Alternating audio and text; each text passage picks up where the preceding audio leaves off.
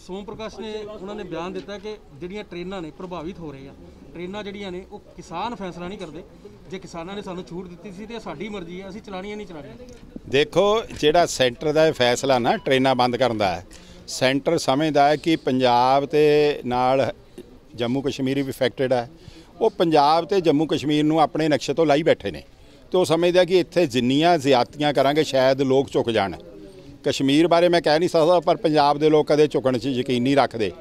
ਪੰਜਾਬ ਦੇ ਲੋਕ ਪਿਆਰ ਮਿਲੇ, ਸਤਿਕਾਰ ਮਿਲੇ ਤਾਂ ਜਾਨ ਵੀ ਦੇ ਦਿੰਦੇ ਨੇ। ਤੇ ਪਰ ਜਿਹੜਾ ਇਹਨਾਂ ਨੂੰ ਦਬਾਉਣ ਦੀ ਕੋਸ਼ਿਸ਼ ਕਰੇ, ਜਿਹੜਾ ਇਹਨਾਂ ਨੂੰ ਡਰਾਉਣ ਦੀ ਕੋਸ਼ਿਸ਼ ਕਰੇ, ਫਿਰ ਉਹਦੇ ਨਾਲ ਉਸੇ ਤਰ੍ਹਾਂ ਦਾ ਹੀ ਵਰਤਾਰਾ ਕਰਦੇ, ਜਿਸ ਤਰ੍ਹਾਂ ਦਾ ਉਹ ਕਰਦੇ ਨੇ।